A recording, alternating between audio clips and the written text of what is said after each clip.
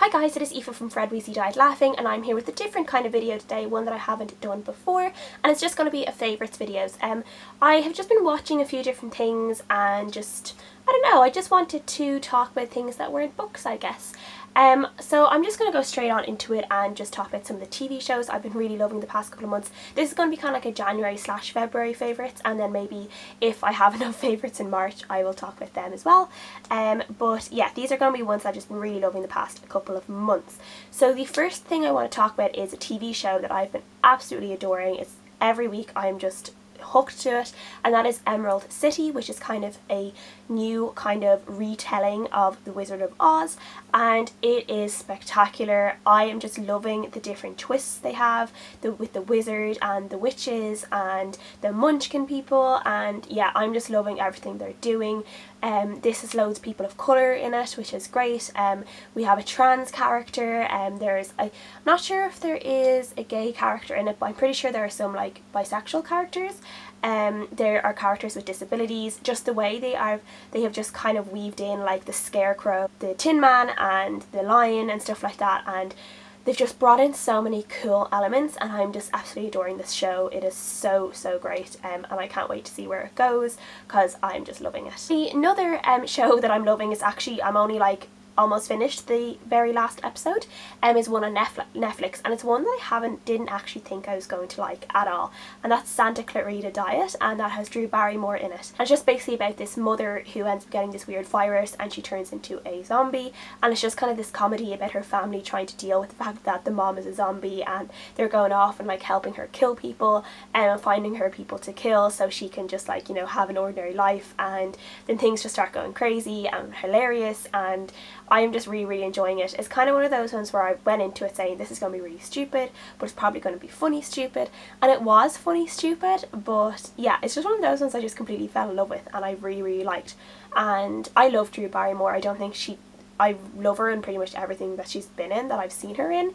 Um, so yeah, I just I just love her personality. I think her personality really comes through in this as well and yeah I'm just really really enjoying it so let me know if you've been enjoying it as well. I watched a documentary the past couple of months as well that I really enjoyed and I don't watch a lot of documentaries I tend to just go for like the normal TV shows um, but I just came across this documentary on Netflix and it was Harry and Snowman. It's basically about this uh, show jumping horse, this old show jumping horse from the 50s and 60s called Snowman and the man um, who rescued him called Harry and Harry was um, he was a a horse rider so he was a he was a he evented with um, Snowman and they kind of became quite famous for just doing really really well in the show ring and he had saved Snowman from um, going to basically go and become dog food. He had like bought him for like really really like hardly anything um from the back of a truck and if he hadn't bought him snowman would have been dead and then snowman ended up being one of the best show jumpers in the world. Um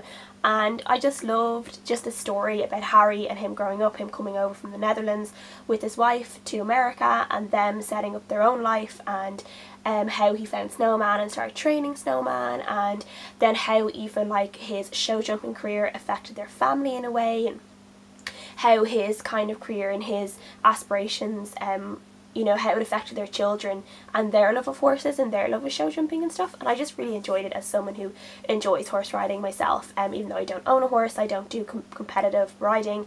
Um, I just do for leisure, like a uh, lessons every week. Um, now I'd love my own horse, but obviously it's just not feasible.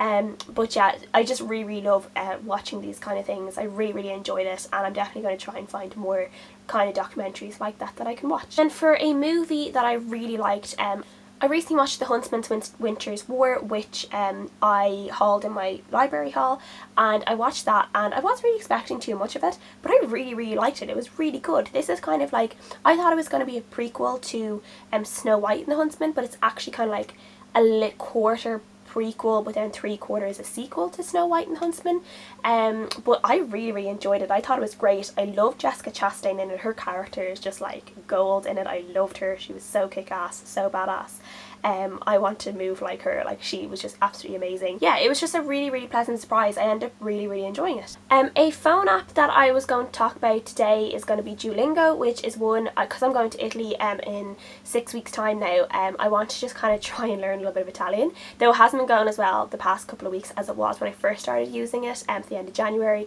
Um, and yeah so I, this is basically a phone app. It's free and you can um, kind of do like these daily like 10 to 20 minute lessons in different languages.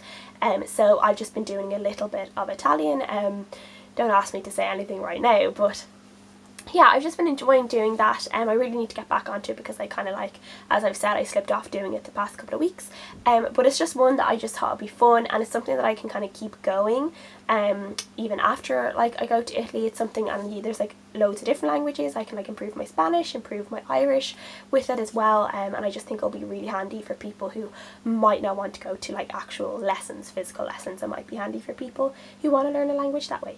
So as you guys have probably guessed, I am not much of a makeup guru. I kind of just stick to the same old things when it comes to makeup.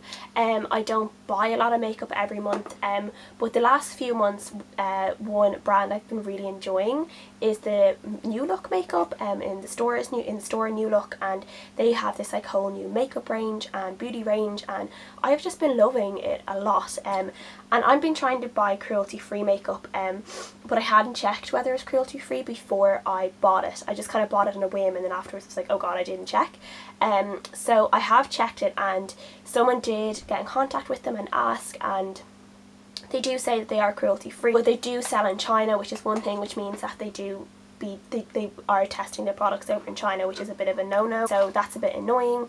Um, but anyway, I do have some of their makeup here anyway.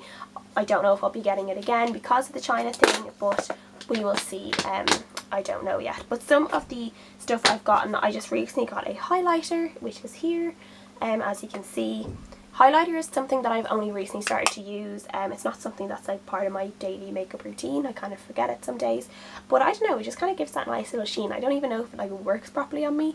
But I know, I just like knowing that I'm wearing it, if that makes sense. But yeah, so this is just a glow highlighter powder. Um, and I've just recently started using this one. It's really, really new. So I don't have too many opinions on it quite yet. And I got a few different lipsticks. Um, I don't know if they'll show up on camera properly. I'll see. I got a black lipstick, I don't know if you can see that, but I haven't actually worn it yet um, until when I brought it home and I just haven't been brave enough to wear it yet. I don't know how to pull off black lipstick without looking like a complete goth. Um, so I'm going to have to try and figure out some kind of like outfit choice that I can go with this, something like kind of sleek um, and that I can pull off black lipstick, but it's not right now anyway. I have this kind of, it's like a very dark cherry brown kind of colour um, I don't know what this one is called. This is Blackberry. So this one's Blackberry and this one's called uh, Noor. Noor. This one's Noor and then this one's Blackberry. Um, so this one's just a bit darker. As you can see it's not quite black. Very, very kind of dark brown, wineish brown. Um, so I do have to, these are quite matte so they're a bit dry in the lips. Um, so I kind of need to get used to them as well. I'm kind of used to more kind of uh, wet uh, lipstick. Um, and this one is one I'm wearing at the moment, which is kind of the violets uh,